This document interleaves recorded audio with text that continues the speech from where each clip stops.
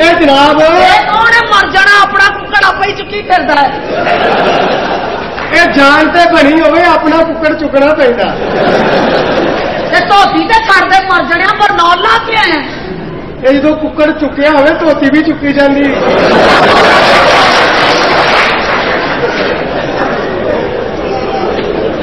ਇਹ ਜਨਾਬ ਇਹ ਤੂੰ ਕੱਪੜਾ ਲਗਾ ਕੱਪੜਾ। ਕੀ ਕਰਨਾ ਹੈ? ਆ ਕੁੱਕੜ ਮੇਰਾ ਲਾਵਾ ਸੁੱਕਣ ਲੱਗ ਪਿਆ ਮਰ ਜਾਣਿਆ ਇਹਨੂੰ ਵਿਪ ਬੰਨ ਕੇ ਰੱਖਿਆ ਕਰ ਹਾਂ ਵਿਪ ਬੰਨਿਆ ਕਰ ਇਹ ਚੌੜੀ ਨਹੀਂ ਦਾ ਕੁੱਕੜ ਹਾਂ ਆ ਵੇਖੀ ਹੁਣ ਇੱਥੋਂ ਨਹੀਂ ਉਠਾਈਦਾ ਆ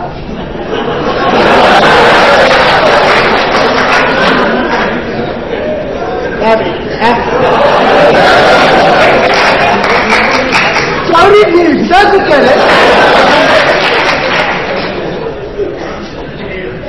ਇਹ ਧਨੀਆ ਪੀਣ ਵਾਲਾ ਕੁੱਕੇ ਨਹੀਂ।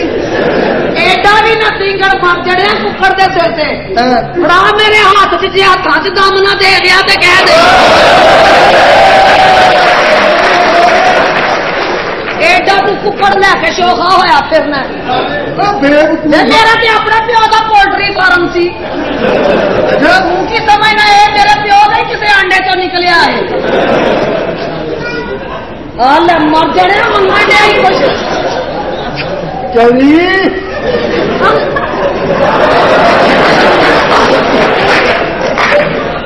ਚੌੜੀ ਨੀਮ ਦਾ ਕੁੱਕੇ ਨੇ ਇਹ ਜਨਾਬ ਹਾਂ ਇਹ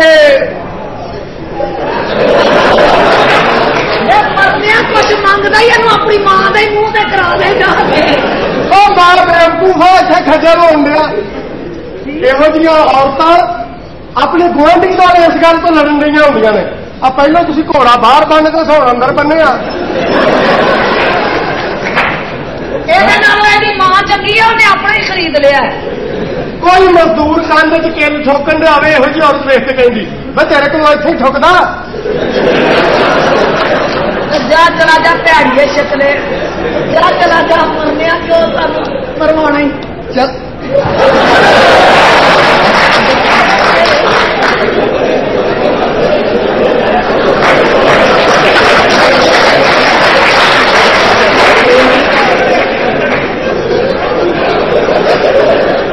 ਇਹਨੂੰ ਬਚ ਜਾ ਜਾ ਚਾਵੀ ਨੀਮ ਦਾ ਕੁੱਕੜ ਉੱਠ ਪਿਆ ਇਹ ਬਿਮਾਰੀ ਪੈਣਾ ਤੂੰ ਇਹਨੂੰ ਅੱਜ ਹੱਥ ਫੇਰ ਫੇਰ ਕੇ ਹੀ ਮਾਰ ਛੱਡਣਾ। ਇਹਨੇ ਬਚਣਾ ਹੀ ਨਹੀਂ ਵਿਚਾਰਾ। ਇਹ ਮਾਮੂਲੀ ਕੁੱਕੜ ਨਹੀਂ ਇਹ ਅਮਰੀਕਾ ਤੋਂ ਆਰਡਰ ਆਇਆ। ਅਸਲ ਫੋਟੋਗ੍ਰਾਫਰ ਨਹੀਂ। ਉਹਦੇ ਕੋਲ ਫੋਟੋ ਖਿਚਾਈ ਇਹਦੀ ਅਮਰੀਕਾ ਭੇਜੀ ਮੇਮਾ ਫੋਟੋਆਂ ਚੁੰਮਣ ਡਈਆਂ।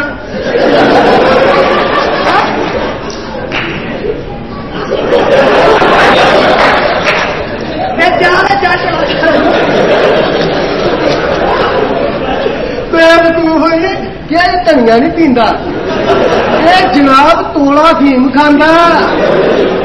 ਚਲੀ